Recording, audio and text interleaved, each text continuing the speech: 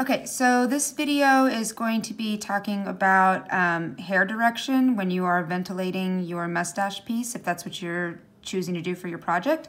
So this little diagram here is kind of a rough outline of what your um, ventilating lace looks like, right? Your Swiss lace.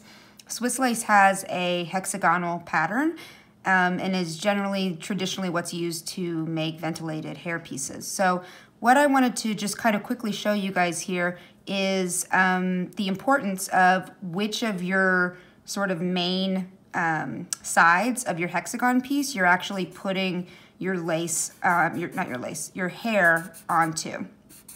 So if we've got six sides here, right, then whatever side I'm using, I need to duplicate over and over again. So if I'm gonna be putting my, my um, hair here, then I'm doing it again here, and here, and here, and here. Do you guys get the logic here? So by purposefully placing um, your strands of weft hair, you can then kind of keep the overall direction of the um, pattern that you're cre creating really um, uh, uh, smooth and uniform throughout. You won't have like any big bunches or like any holes in your um, overall hair pattern when you're done.